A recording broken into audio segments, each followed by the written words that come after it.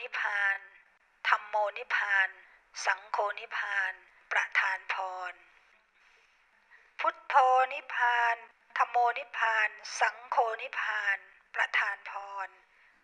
พุทโธนิพพานธรรมโมนิพพานสังโฆนิพพานประทานพร วันนี้เป็นวันที่ 6 กุมภาพันธ์ พุทธศักราช 2563 เวลาเช้านร่มชัดชัย แผ่นดิน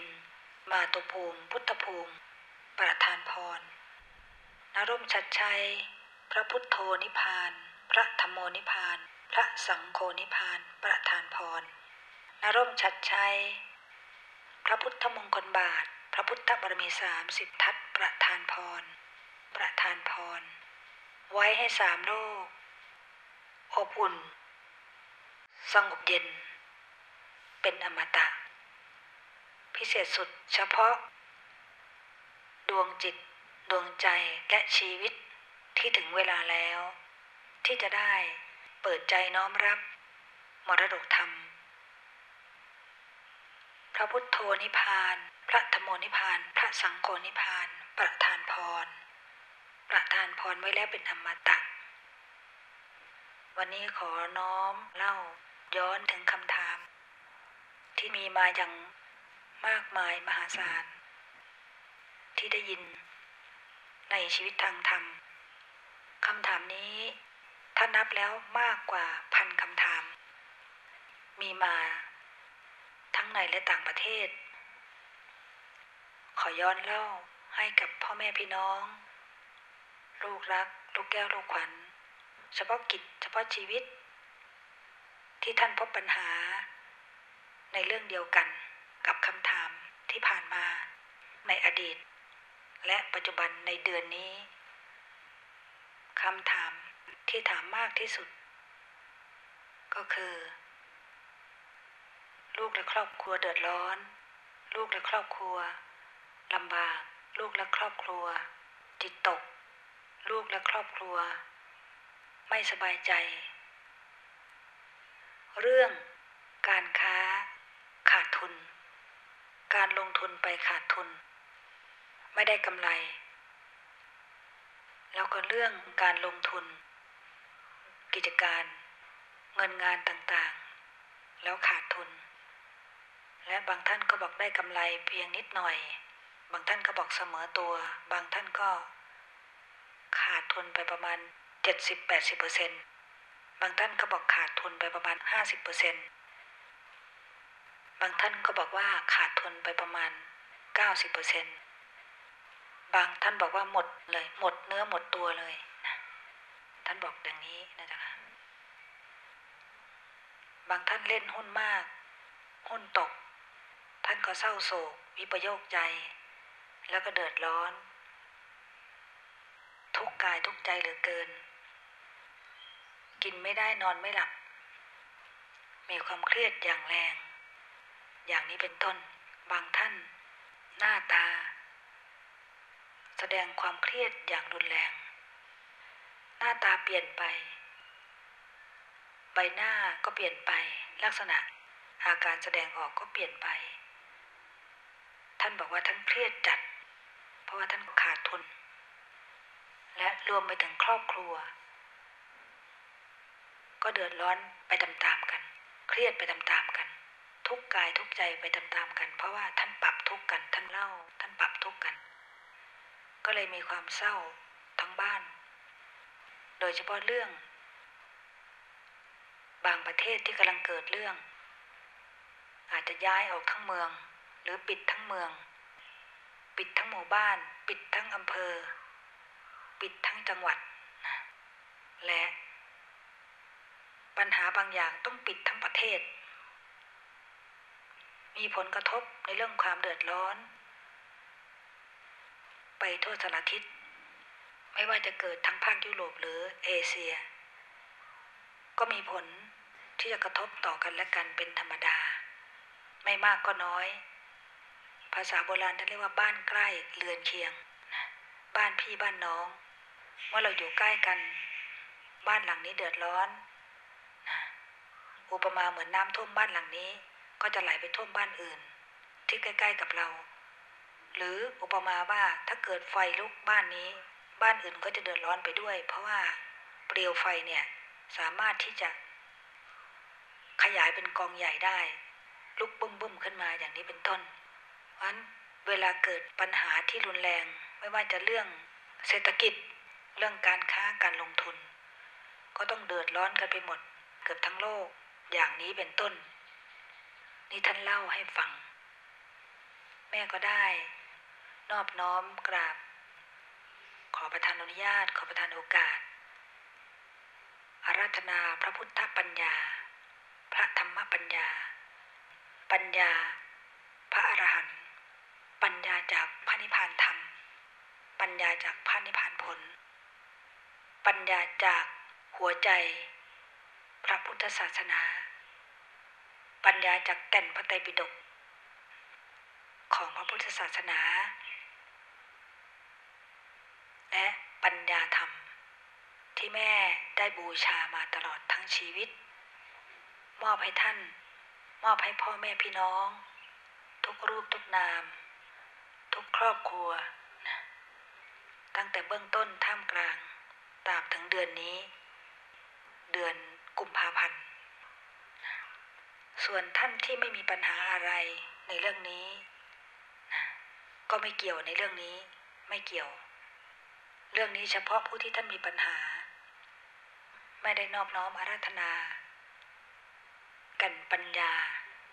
จากหัวใจพระพุทธศาสนา มามอบให้พ่อแม่พี่น้อง ขอยกตัวอย่าง ย่อๆให้ท่านเห็นภาพตามความเป็นจริงว่า พ่อแม่พี่น้อง ลูกรักลูกแก้วลูกขวัญทุกดวงใจ และครอบครัวของเรา ทุกชีวิตรวมทั้งโลกทั้งจักรวาล มวลหมู่มนุษยชาติ เผ่าพันธุ์พ่อ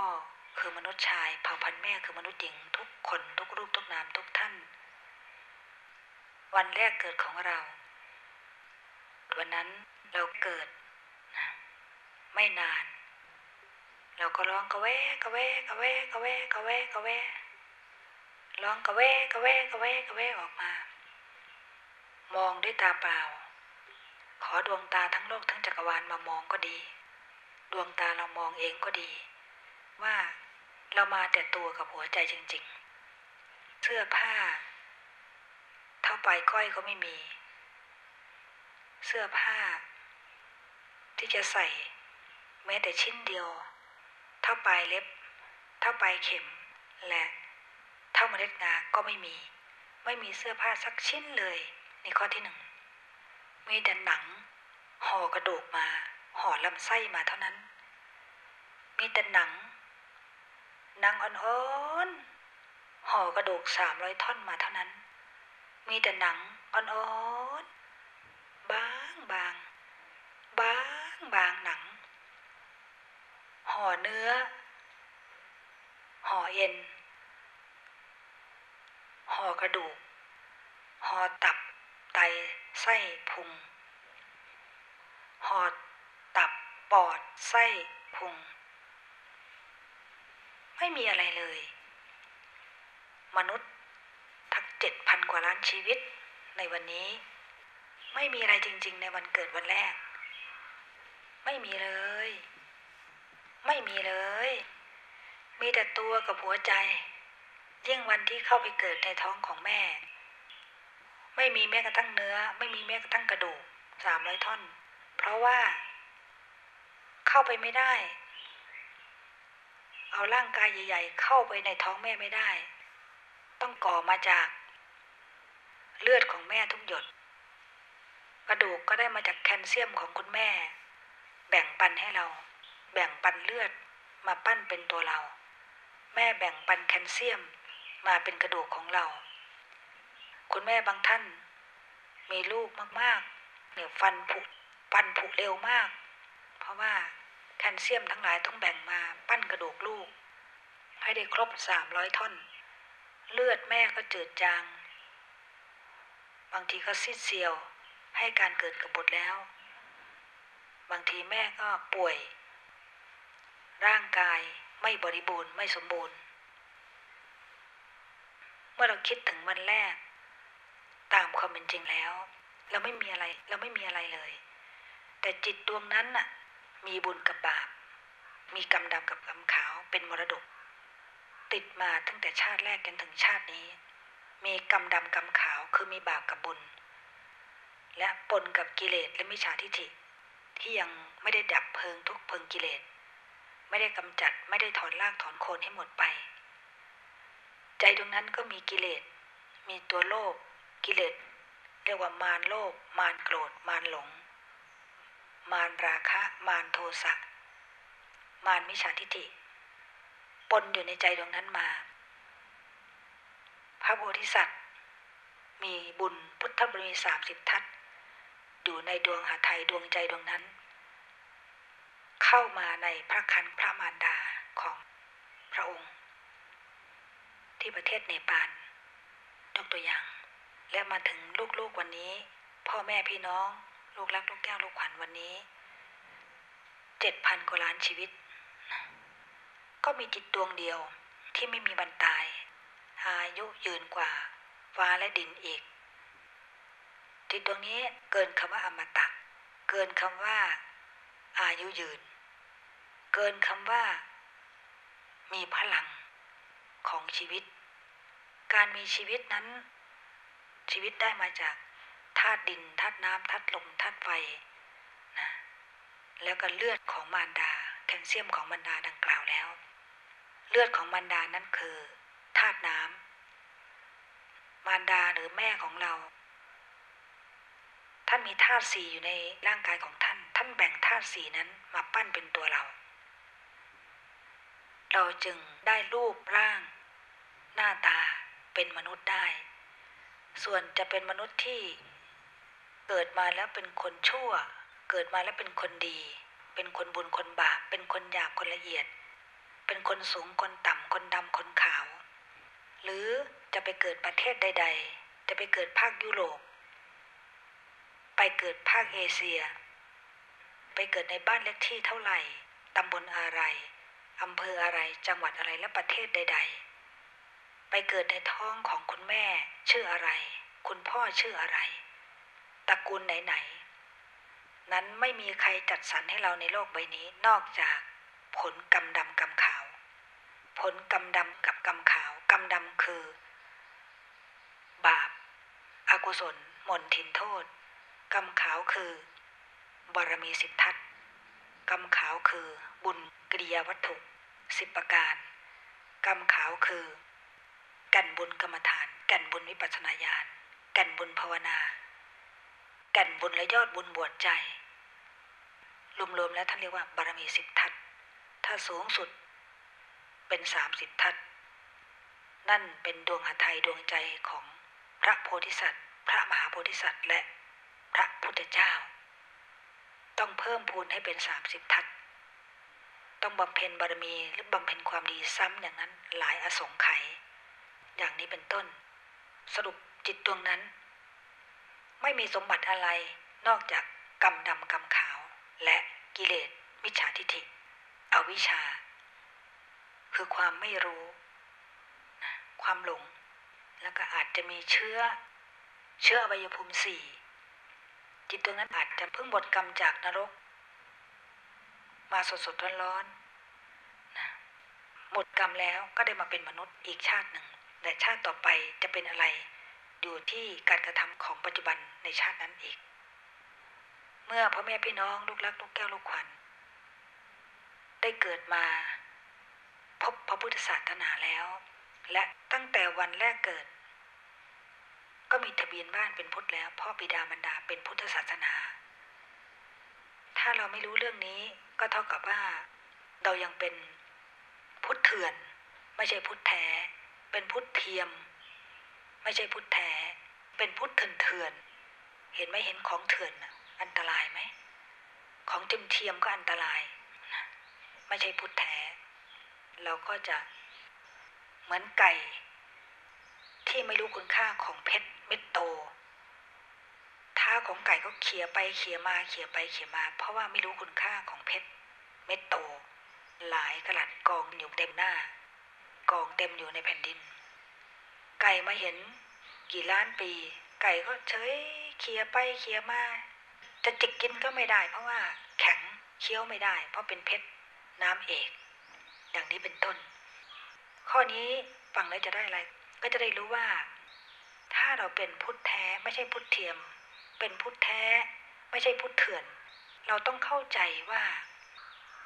วันแรกที่เราเกิดมาเรามีอะไร เสื้อก็ไม่มี ผ้าก็ไม่มี กางเกงไม่มีกระโปรงไม่มี ชุดชั้นนอกชั้นในไม่มี แหวนเพชรก็ไม่มี ไม่มีอะไรใส่มา ทองคำก็ไม่มี ไม่มีอะไรใส่มาสักชิ้นเลย น่าสงสารที่สุดในโลกเลยเด็กคนนั้น ถ้าไม่ได้คุณหมอหรือในแพทย์พยาบาล โรงพยาบาลหรือคลินิก หรือคุณพ่อคุณแม่และปวงญาติของเรานั้น อุปถัมภ์อุปถากดูแล เลี้ยงดูอุ้มชูประคบประงมเราตั้งแต่เราอยู่ในท้อง จนทั้งถึงวันที่เราเกิด เรานี่จะน่าสมเพชน่าสงสารที่สุดในโลกเลย นี่เป็นบุญบุญของเรายังเหลือ เรายังมีบุญมีวาสนา ที่เราทำไว้ในอดีต จึงทำให้มีโรงพยาบาลเกิดขึ้น มีคลินิกเกิดขึ้น มีคุณหมอ มือทอง พยาบาลมือทิพย์และมีคุณพ่อคุณแม่ มีปวงญาติ ดูแลเราประคบประหงมเรา อุ้มชูดูแลเรา รักเราเมตตาต่อเราทำให้เราได้มีวันนี้ เมื่อเราเกิดมาวันนั้น ไม่มีอะไร แล้วนับตั้งแต่วันนั้นมา นับตั้งแต่วันแรกที่เกิดมามวลมนุษย์ทั้งโลกเลยนะเจ็ดพันกว่าล้านชีวิตนี้นะเหมือนกันหมด วันแรกเกิดเหมือนกันหมด ภาษาไทยที่ฟังแบบภาษาใจเรียกว่า มีแต่ตัวล่อนจ้อน มีแต่ตัวล่อนช่อนไม่มีอะไรเลย มีแต่ตัวล่อนช่อนภาษานี้จุใจจริง ๆ เหลือแต่ตัวล่อนจ้อนไม่มีอะไร และตัวก็ แดงๆ ตัวก็เล็กๆ ดูดนิ้วมาเท่านั้นเอง แล้วต่อมาเป็นยังไง ตอนนี้เป็นยังไง วันนี้เป็นยังไง มีเสื้อผ้า นับไม่ถ้วน ไม่รู้กี่ร้อยชุด มีรองเท้าอีกหลายคู่ และมีรถอีกหลายคัน มีบ้านอีกหลายหลัง และมีเครื่องประดับ ทั้งเพชร ทั้งทอง จิวเวลรี่ต่างๆ หลายชุด ตั้งแต่หนึ่งชิ้นขึ้นไป แล้วก็มีสมบัติในบ้าน เพิ่มพูนขึ้นมาอย่างมหาศาล บางท่านมีมากมหาศาลเลย มหาศาลมหาศาลมหาศาลและมหาศาลจนนับไม่ถ้วนว่ามีกี่ร้อยชิ้น มีกี่พันชิ้น มีกี่แสนกี่ล้านชิ้น นับไม่ถ้วนมีมากจริง ๆ นี่บางท่าน มาดูวันนี้อีกครั้งหนึ่งดูด้วยตาสองดวงของเราว่าเราได้มาขนาดนี้ บ้านเนี่ยมีมากกว่าหลังหนึ่งขึ้นไปรถมีมากกว่าคันหนึ่งขึ้นไป แล้วเสื้อผ้ามีมากกว่าชิ้นหนึ่งขึ้นไป เอาเรื่องใกล้ตัวก่อนเรื่องเสื้อผ้า เครื่องประดับก็มีมากกว่าชิ้นหนึ่งขึ้นไป นี่พูดถึงทางโลก ชีวิตทางโลกเอาเงิน พูดถึงเงินนะตอนนี้ เงินตาใน แต่ละประเทศก็ไม่เหมือนกัน ประเทศต่างๆ จะมีตราประทับอยู่ในแต่ละประเทศท่านเรียกว่าเงินตรา เงินวันแรกเกิดก็ไม่มีสักบาท สตางค์หนึ่งก็ไม่มีเท่าเมล็ดงาก็ไม่มี นิดเดียวก็ไม่มี ไม่มีอะไรติดตัวมาเลย แล้วก็บ้านด้วย ไม่มีสักหลังเลยแม้ แต่ผ้าไม่มีสักชิ้น เท่าปลายก้อยก็ไม่มีเท่าปลายเล็บก็ไม่มี เสื้อผ้า ชิ้นเล็กๆแค่นั้นก็ไม่มี ตอนนี้ ดูสิเงินมีมากกว่าหนึ่งบาท มีมากกว่าหนึ่งร้อยมีมากกว่าหนึ่งพันมีมากกว่าหนึ่งหมื่นที่ติดตัวอยู่ แต่ละคนมีมากกว่าหนึ่งแสนบางท่านมีมากกว่าหนึ่งล้านเองด้วย แล้วมากกว่านั้นจะนับไม่ได้ว่ามีเท่าไหร่เท่าไหร่เท่าไหร่เท่าไหร่เท่าไหร่นะเอาเรื่องบ้านนะทีนี้ บ้านหลังใหญ่โตมโหฬารแล้วก็มีมากกว่าหลังหนึ่ง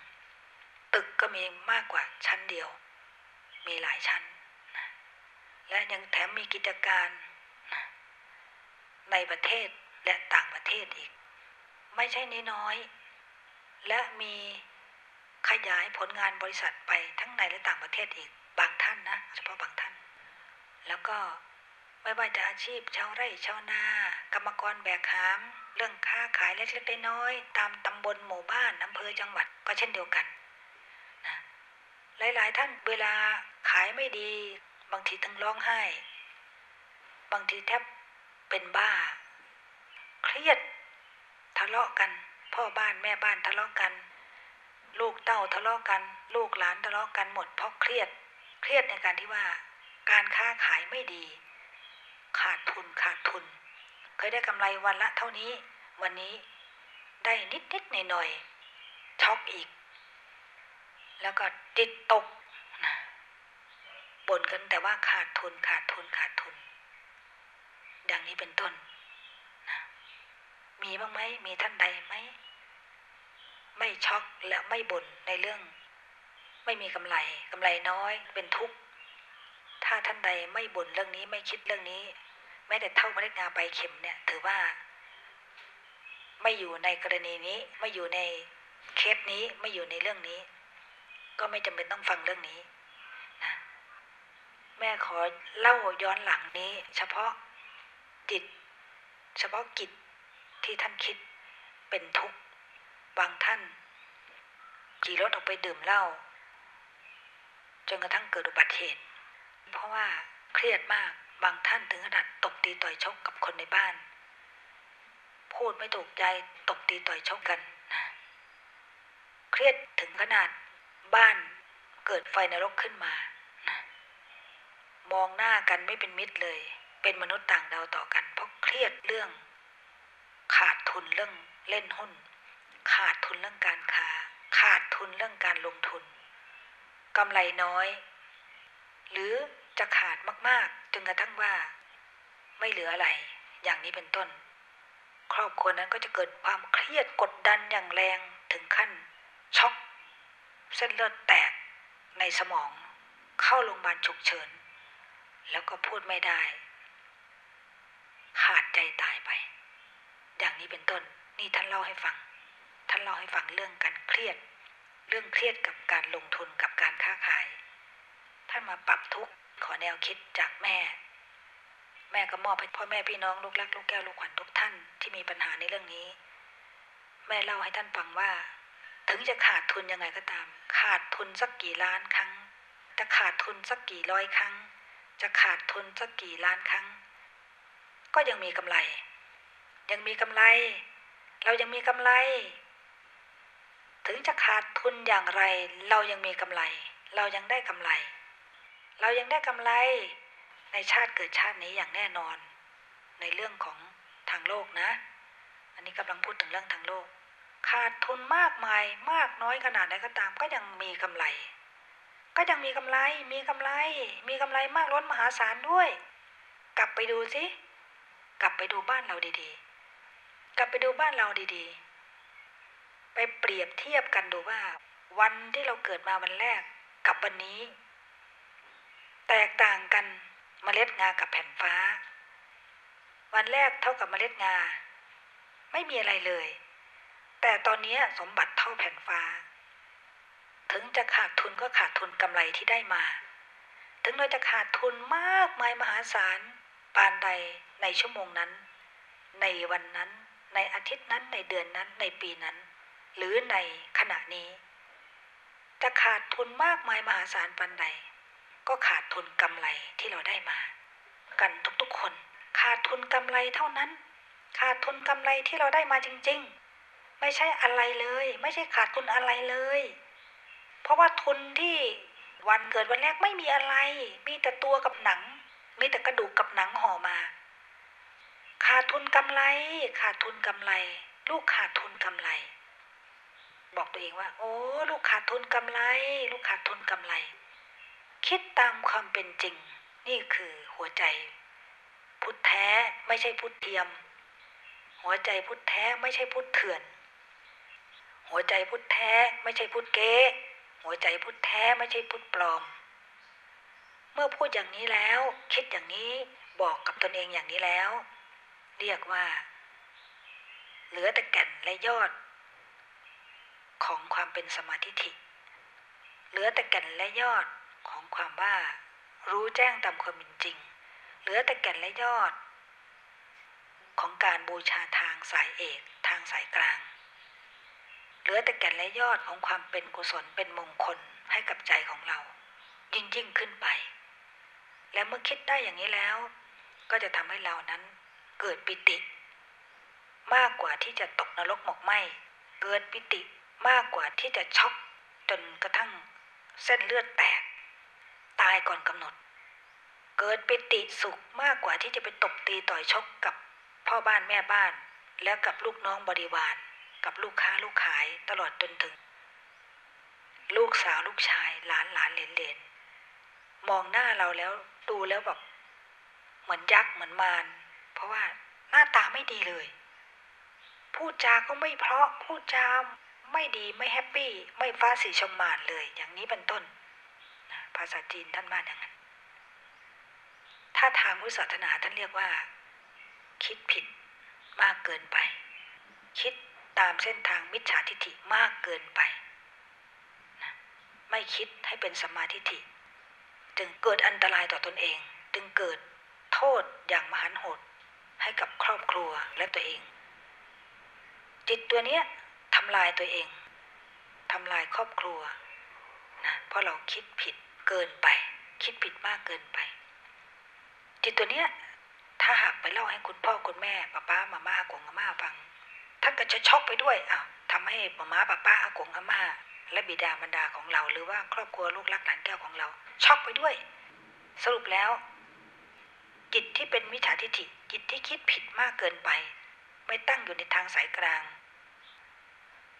ไม่มีความปิติและเกิดความเครียดนี้ เป็นมลพิษนะจิตดวงนี้เป็นมลพิษ เป็นมลพิษบั่นทอนทำลายชีวิตทุกคนที่อยู่ใกล้ตัว ให้เกิดอันตราย อาจจะเจ็บป่วยไข้ และช็อกเข้าโรงพยาบาลไปตามๆกัน และทำให้จิตเศร้าหมอง จิตซึมเศร้า จิตโศกเศร้า จิตเกิดอันตราย ไม่เป็นมงคลเลย กับครอบครัวของเรา เราอาจจะคิดว่านี่เป็นข่าวร้ายที่สุด ในบริษัทนี่เป็นข่าวร้ายที่สุด ในตัวเองนี่เป็นข่าวร้ายที่สุดให้กับครอบครัวเรา เป็นข่าวร้ายที่สุดเราก็คิดแต่อย่างเงี้ยเพราะเราขาดทุนนะ เราบอกเราขาดทุนกันหมดแล้วเนี่ยย่อยยับกันหมดแล้วที่ไหนได้ แท้จริงแล้วขาดทุนกำไร ขาดทุนกำไรที่เราได้มากันทั้งหมด ขาดทุนกำไรที่เราได้มา เท่านั้นเอง ไม่เห็นมีอะไรที่จะไปมากกว่านั้น ไม่ได้ขาดทุนอะไรเลย ไม่ได้ขาดต้นทุนเลย ต้นทุนยังเหลือครบหมด เพราะว่าชีวิตและลมหายใจยังเหลือรอดถึงวันนี้ นี่คือต้นทุนใหญ่ เมื่อคิดอย่างนี้จิตจะไม่ตกต่ำเกินไป และจิตจะไม่มีมลพิษ ให้ครอบครัวของเรานั้นเป็นทุกข์จนกระทั่งต้องเข้าโรงพยาบาล เสียเงินไปอีก อยู่ในห้องไอซียูไปอีกนะดีไม่ดีตายด้วย เพราะช็อกมากเกินไป อย่างนี้เป็นต้น ความรู้สึกของแม่คิดว่าพ่อแม่พี่น้องของเราเจ็ดพันกว่าล้านชีวิตทั้งโลกนี้ ไม่มีใครไม่ได้กำไรได้กำไรทุกคนนะได้กำไรมากมายมหาศาล กันทุกๆทท่าน บางท่านก็ได้แบบอภิมหาศาลได้กำไรมากจนกระทั่งว่า รับไม่หวาดไม่ไหว ดูแลไม่หวาดไม่ไหว สมบัติมากมายมหาศาลเหลือเกิน ดูแลไม่หวาดไม่ไหว เหนื่อยปังงาบปังงาบปังงาบ เพราะว่า ได้กำไรมากเกินไป ได้กำไรมากล้น ท่วมท้น ทุกวันทุกขณะทุกเวลาทุกนาทีทุกชั่วโมง ทุกขณะจิต มื่อลงทุนไปแล้วกำไรไหลเข้ามามาโหฬารมหาศาล เจ้าของและบริวารญาติมิตรก็เหนื่อยกันปังงาบปังงาบปังงาบปังงาบจนไม่มีเวลาทานอาหาร ไม่มีเวลาพักผ่อน ไม่มีเวลาหลับ ไม่มีเวลานอน เพราะต้องคิดบรรจงบัญชีสารพัดเนี่ย เพราะกำไรมากเหลือเกินไงเพราะต้นทุนก็แค่หนังห่อกระดูกมาสามร้อยท่อนท่านเองนี่ได้กำไรมาก ถ้าวันไหน ขายไม่ดีในเดือนนี้วันนี้อาทิตย์นี้ชั่วโมงนี้ หรือว่าถูกโกงไปบ้างเล็กๆน้อยๆเอาช็อกอีกแล้ว ถ้าคิดตามทางโลกก็ต้องเป็นอย่างนั้นร้อยเปอร์เซ็นต้องช็อกต้องเสียใจต้องจิตตกเป็นธรรมดา ข้อนี้เป็นธรรมดา แต่ถ้ามาคิด ในฐานะที่หัวใจของเราเป็นพุทธแท้ล้านเปอร์เซ็นต์เป็นพุทธไม่ใช่ แต่ในทะเบียนบ้านเท่านั้น แต่เป็นพุทธทางจิตวิญญาณแล้วล้านเปอร์เซ็นต์ พระพุทธศาสนาอุบัติมาเพื่อประทานแสงสว่าง ส่องเข้าไปถึงจิตวิญญาณ แสงสว่างจากหัวใจพระพุทธศาสนาสว่างมากกว่า พระอาทิตย์ร้อยล้านดวง ก็เทียมเท่าไม่ได้ แสงสว่างจากหัวใจพระพุทธศาสนา สว่างมากกว่าพระจันทร์วันเพ็ญสิบห้าค่ำร้อยล้านดวง ก็เทียมเท่าไม่ได้ ถ้าเราเป็นพุทธศาสนาในทะเบียนบ้านแล้ว เรายังไม่ได้รับแสงสว่างจากหัวใจพระพุทธศาสนาเลย ว่าท่านอุบัติมาคุ้มครอง มวลไตรโลก มาคุ้มครองปกป้องอภิบาล ด้วยพุทธปัญญายาณที่สว่าง สว่างกว่าพระอาทิตย์ร้อยล้านดวง ก็เทียมเท่าไม่ได้ แต่ละหนึ่งนาทีนะ แค่หนึ่งนาทีที่แสงสว่างจากหัวใจพุทธศาสนา เข้าไปสู่จิตสู่กลางบาดาลจิตวิญญาณของเรา แค่หนึ่งนาทีนะ ก็สว่างกว่าพระอาทิตย์ร้อยล้านดวง สว่างกว่าพระจันทร์เพ็ญร้อยล้านดวงแล้ว นั้นเป็นไฉนเล่า ก็หมายความว่า ความสว่างในทางธรรมนี้เมื่อสว่างแล้วจะไม่มีวันดับ แต่แสงดวงอาทิตย์นี้จะสว่างจะมีกี่ร้อยล้านดวงก็ตาม ท่านก็ยังมีมืดได้ พระจันทร์วันเพ็ญก็ยังมีข้างแรมสิบห้าค่ำได้ เห็นไหมมีข้างแรมมืดร้อยเปอร์เซ็นต์ดวงอาทิตย์ก็เหมือนกัน พอตะวันรับฟ้าแล้ว เราก็ได้มีโอกาสพบความมืด ไม่มีแสงสว่างอะไรทั้งสิ้น เห็นไหม แต่แสงสว่างจากหัวใจพระพุทธศาสนา ที่เป็นพุทธศาสนาแท้ๆนะนะเป็นพุทธแท้ๆ จากหัวใจพระพุทธเจ้าพระธรรมเจ้าพระรันตเจ้า ประทานพรสืบทอดไว้ให้กับสามโลกนี้ ให้กับพรมโลกเทวโลกมนุษย์โลกได้ฟัง มีแต่ความสว่างที่ไม่มีวันดับ ไม่มีวันหมดอายุ แสงสว่าง แห่งพุทธปัญญาที่ส่องส่องเข้าไปในวิญญาณนะจิตวิญญาณของผู้ปฏิบัติหรือผู้เปิดใจน้อมรับ ก็จะกำจัดความมืดทั้งหมด ไม่ให้คิดผิด ไม่ให้พูดผิด ไม่ให้ทำผิด ไม่ให้จิตตกจนเกินไป ไม่ให้เครียดเกินไป และถึงที่สุดไม่เครียดเลย และไม่จิตตกเลย ถึงที่สุด อิสระ จิตหลุดพ้น ผุดผ่อง อย่างนี้เป็นต้น สรุปแล้วง่าย ๆ สรุปแล้ว นาทีใดที่ พ่อแม่พี่น้องลูกรักลูกแก้วลูกขวัญทุกท่าน พบปัญหา จะแสนหนักลำบากยากเย็นขนาดไหน ก็ต้องขอบคุณขอบคุณชีวิตไว้ก่อน เพราะว่านี่คือต้นทุนใหญ่ ต้นทุนใหญ่ชีวิตยังเหลือ ลมหายใจยังเหลือ ขอบคุณคุณพ่อคุณแม่ อย่างสูงสุดเป็นอมตะตลอดชีวิต ตลอดชาติตลอดกาลขอบคุณพระธรรมในพระพุทธศาสนา ขอบคุณสูงสุดคือพระรัตนตรัยที่อุบัติมาประทานแสงสว่าง เพื่อดับเพลิงทุกข์ให้สิ้นซากไปจากจิตวิญญาณของผู้ใฝ่ธรรม ผู้น้อมรับธรรมได้อย่างเป็นอมตะถาวรนิรันดรตลอดกาลขอบคุณชีวิต ขอบคุณชีวิตที่ยังเหลือ ที่ยังเหลือ รอดได้หายใจได้วันนี้ ขอบคุณลมหายใจ ขอบคุณชีวิต ที่บิดามารดา ให้ลูกมา ลูกจะพยายามรักษาจิต รักษาชีวิตของลูกเอาไว้นะให้เป็นแก่นของพระพุทธศาสนา ให้เป็นยอดของพระพุทธศาสนา ให้เป็นหัวใจของพระพุทธศาสนา ยิ่งยิ่งขึ้นไปตั้งแต่ลมหายใจที่เหลือ คือไม่คิดทำลายตนเอง ไม่คิดทำร้ายตนเอง ไม่คิดให้เกิดมลพิษทำลายตนเองจนกระทั่งช็อกเข้าโรงพยาบาลตายก่อนกำหนด และไม่ พูดจา แสดงความเครียด เกินไปไม่ตบตีต่อยชกทางวาจา ไม่แสดงอาการโหดร้ายหยาบคายต่อตนเองและทุกคนที่อยู่ในบ้านของเรา ในอ้อมอกของเรา ในกิจการเงินงานของเรา ในบริวารญาติมิตรของเรา ตลอดชีวิต เพราะว่าจิตเป็นพุทธแท้ ไม่ใช่พุทธเถื่อน ไม่ใช่พุทธเทียม ไม่ใช่พุทธเก๊ จิตเป็นพุทธแท้ เป็นพุทธบุตรธรรมธิดาของพระนิพพานของคุณพระศรีรัตนตรัยของพระพุทธศาสนาตลอดกาลจะเหลือแต่แก่นพรแก่นบุญแก่นกุศล ความเป็นมงคลชัยอันเป็นบุญสูงสุดให้แด่ตนเอง ทุกลมหายใจยิ่งยิ่งขึ้นไป และทุกคนที่อยู่ใกล้เรา ใครก็แล้วแต่ที่อยู่ใกล้ตัวเรา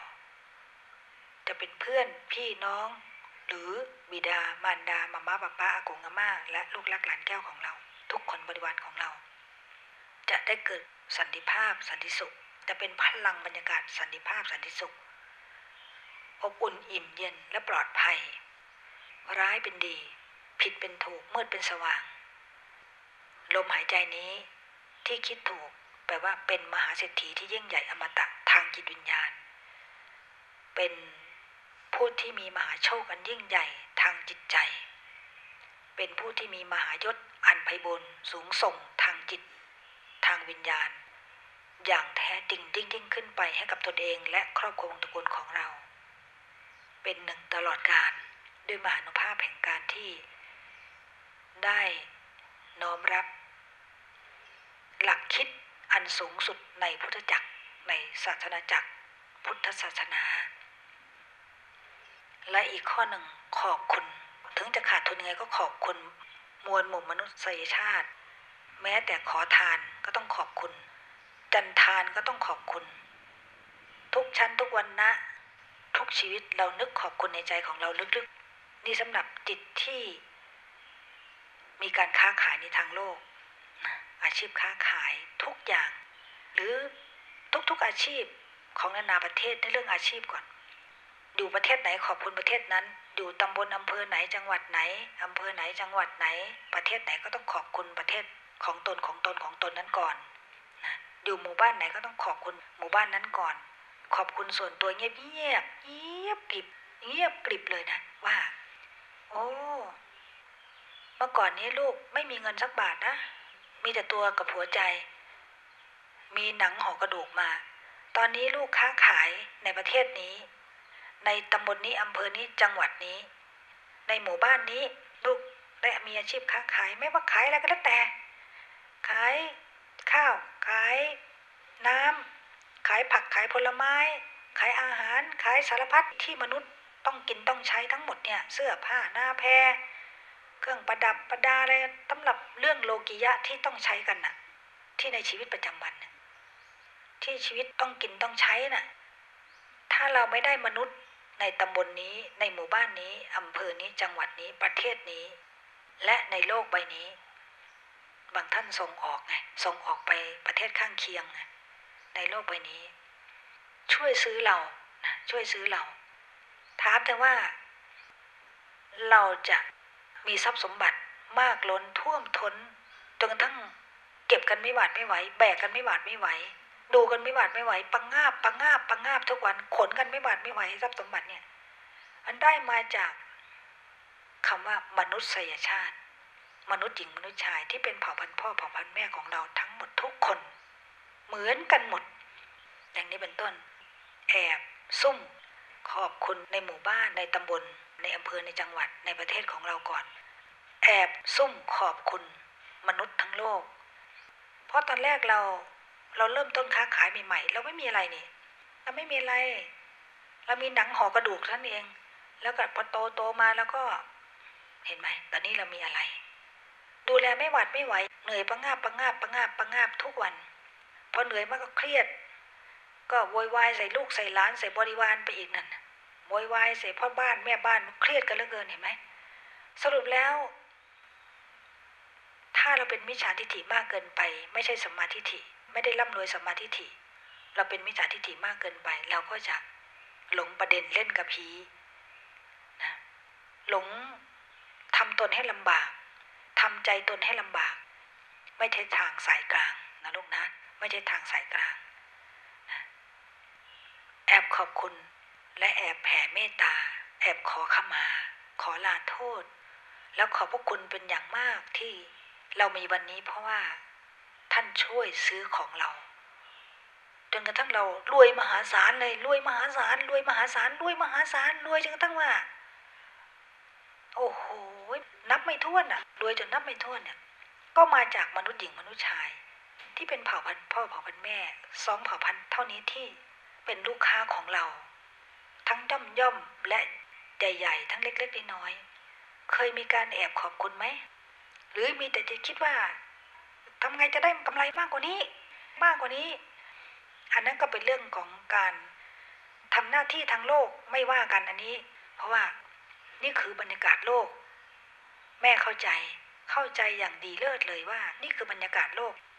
เมื่อเราเกิดมาสร้างโลกเราต้องเป็นอย่างนั้นน่ะ เราต้องเป็นอย่างนี้อยู่แล้ว ถ้าไม่เป็นอย่างนี้ก็ไม่รอด ไม่รอดเป็นวัฏฏะ เราต้องต้องเป็นเจ้าของวัฏฏะไปตลอดตราบเท่าอายุของฟ้าดิน เป็นเจ้าของวัฏฏะอยู่อย่างนี้แหละ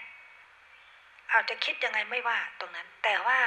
วันนี้แม่ขอนอบน้อมนะขออ้อนวอนพ่อแม่พี่น้อง กราบแทบเท้าอ้อนวอนพ่อแม่พี่น้องทั้งโลกเลยทั่วทั้งโลกเลย ให้แอบขอบคุณแบบส่วนตัวส่วนตัวกับทุกฝ่าเท้าของมนุษย์ ไม่ว่าจะเป็นทางโลกหรือทางธรรมทุกฝ่าเท้าทั้งทางโลกทางธรรม ทุกบุคคลทุกชนชั้น ทุกวรรณะทุกศาสนาทุกภาษาว่า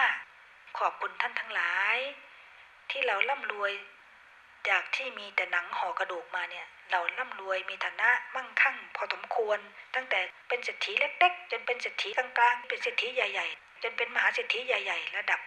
หมู่บ้านตำบลอำเภอจังหวัดและประเทศและโลกจักรวาลอะไรแล้วแต่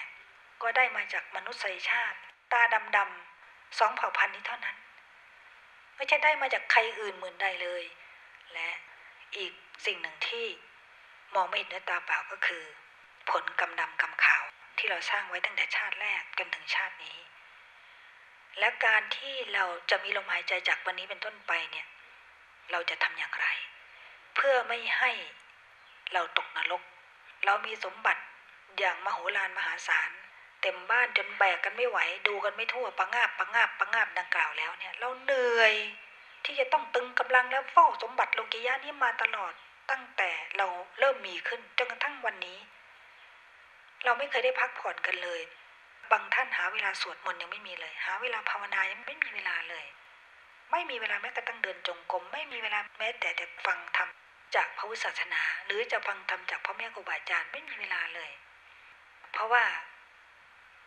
ภารกิจต่างๆที่สร้างขึ้นเนี่ย หมุนติ้วเหมือนลูกขัง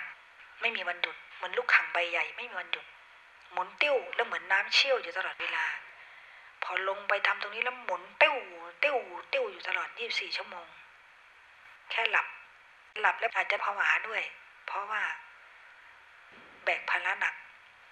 มีบริวารมากก็ต้องแบกบริวารอีกอย่างนี้เป็นต้น อันนี้ก็ไม่ว่ากัน นี่เป็นธรรมชาติของบรรยากาศโลกอยู่แล้วนะจะทำอย่างไร ขอกราบ แทบเท้า ทุกฝ่าเท้าของพ่อแม่พี่น้อง ทั้งจักรวาลโลกอีกครั้งหนึ่งว่า ขอให้ท่านเมตตา แบ่งเวลา แอบ ซุ่ม ซุ่มแอบในหัวใจเนี่ย มีสี่ห้อง สักห้องใดห้องหนึ่งกราบ ขอขมา ขอบูชาอนุโมทนาสาธุการ ขอบคุณที่ท่านได้ มีส่วนช่วยให้เราได้ มีฐานะมั่งคั่งขึ้นมา ตั้งแต่วันแรกที่เราเริ่มตั้งร้านค้าขึ้นมาใหม่ๆ เราไม่มีอะไรเลย ตอนนี้เรามี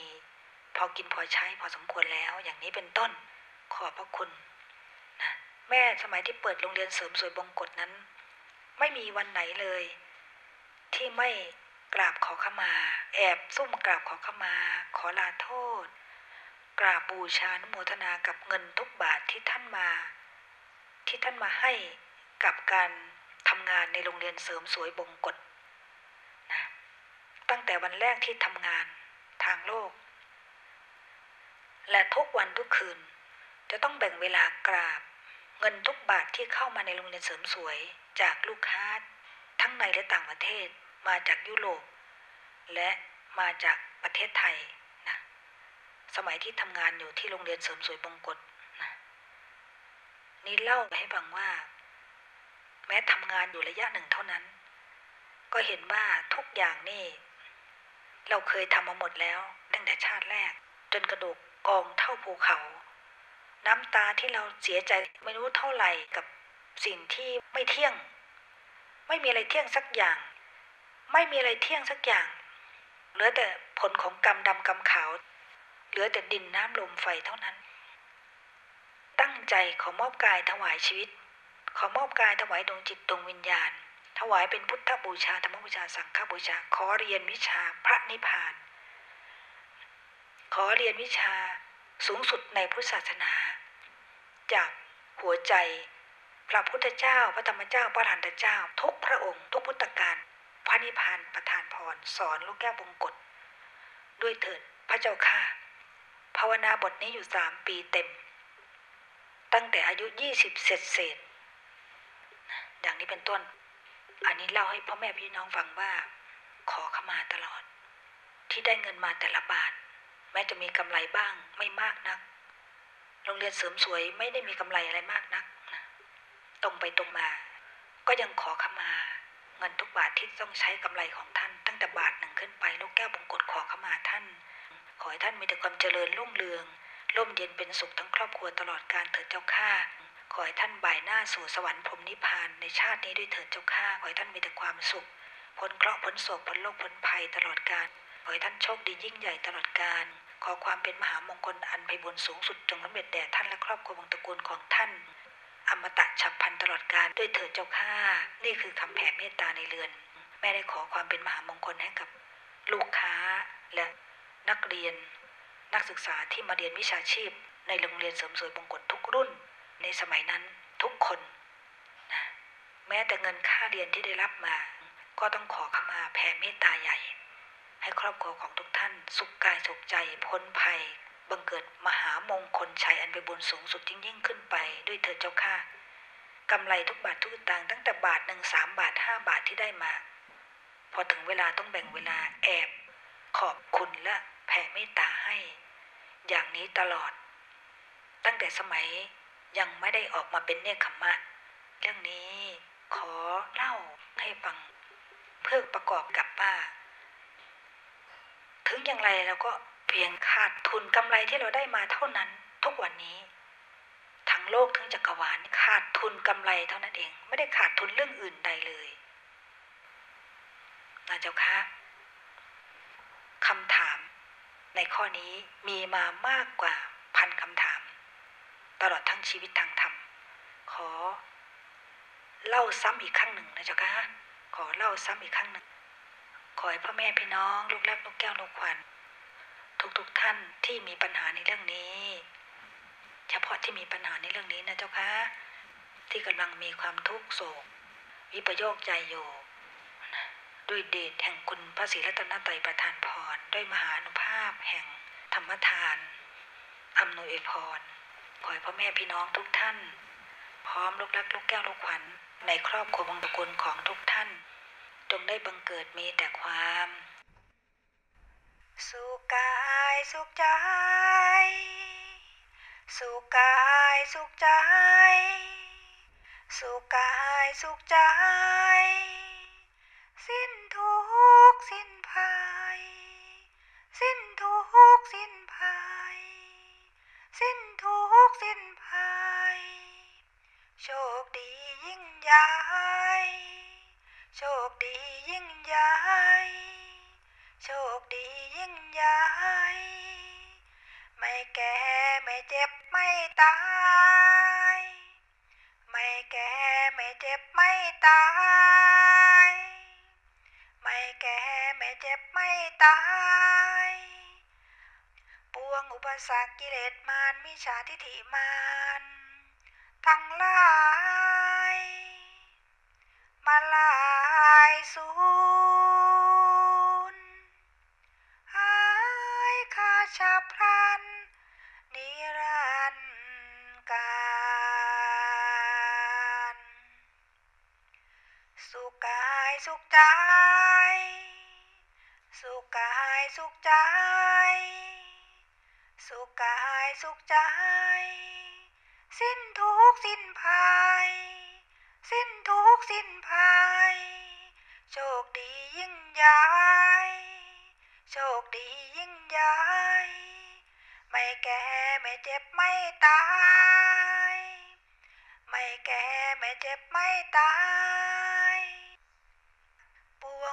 อุปสรรคนานาประการ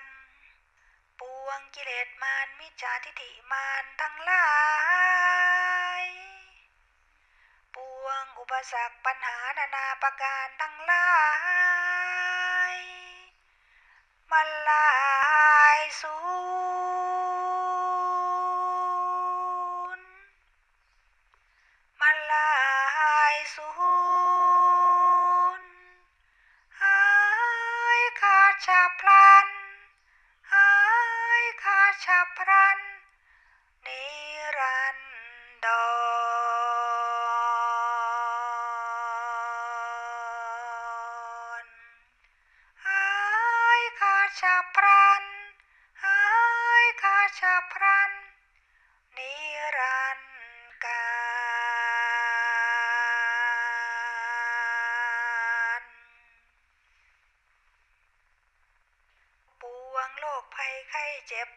กายวาจาใจทั้งหลา